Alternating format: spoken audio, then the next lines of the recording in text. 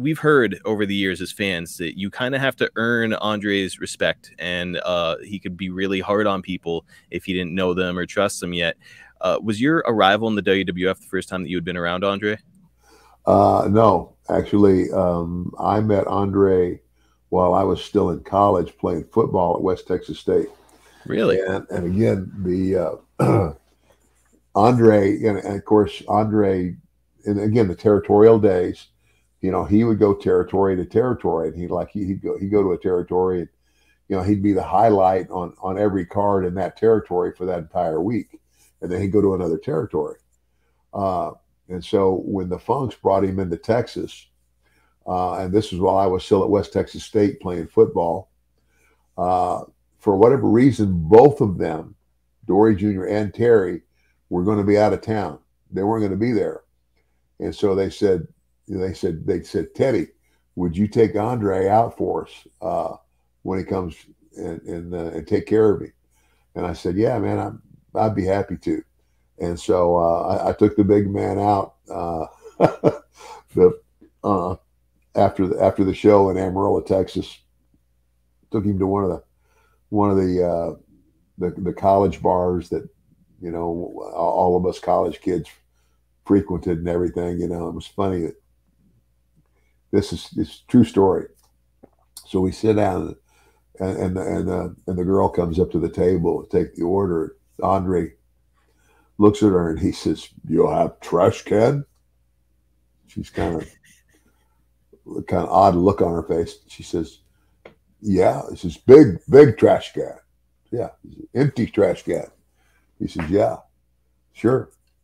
He says, four, I don't know, it was four or five, four or five cases of beer in trash can on ice, bring to table." like what? I couldn't believe it. And and of course, now if you ever saw Andre wrap his hand around a, a, a beer can, which mm-hmm. is basically the same size as a Coke can, the can disappears. You can't see any, you can't even see the can. because his hand is that big. And it was like, it, it was kind of like uh, him drinking a, a, regular 12 ounce thing of beer was like you or I drinking a, a mini. Right. And I mean, he was just unbelievable. And you know, the other thing that a lot, a lot of things that the the, the, the fans don't know, uh, you know, the, I can't remember who did the special on him, but they did a really good job with the special they did on Andre the Giant. I think it helped the people understand how here's a guy who's so visible, you can't miss him anywhere he goes, but spent his life somewhat lonely. Yes. Because you, know? uh, you could never, he could never get anywhere where he was really comfortable. You know, uh, travel on an airplane, even if he sits in first class, a first class seat on an airplane is like me sitting in coach. I can sit there, but I'm not real comfortable. Right.